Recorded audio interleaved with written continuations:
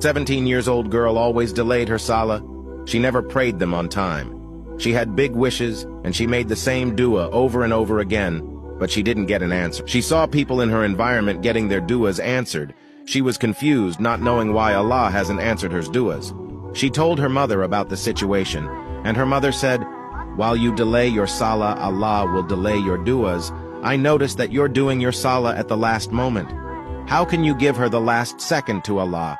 How are you not excited to have a conversation with your Lord? She decided that she will do all her salah on time. She even prayed in school, which she never done before. She felt so much more better, and she felt closer to Allah. She felt like that she little change build the relationship she wanted with her Creator. Some days later, her dua got accepted, and her life changed in better ways. She didn't need anyone beside Allah. She felt like she was living his dream life.